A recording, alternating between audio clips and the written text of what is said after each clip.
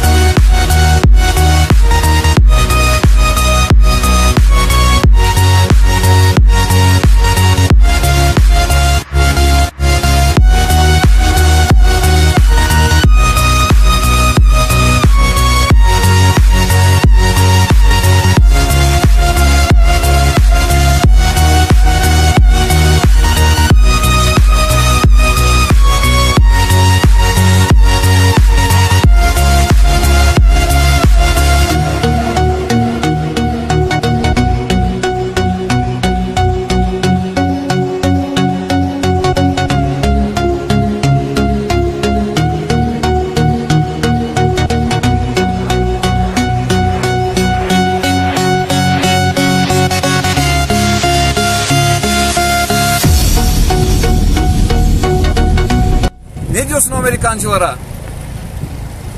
Bir gün böyle olacaklar diyorum. İnşallah abi. İnşallah. Üç gün daha da üç gün sanayide.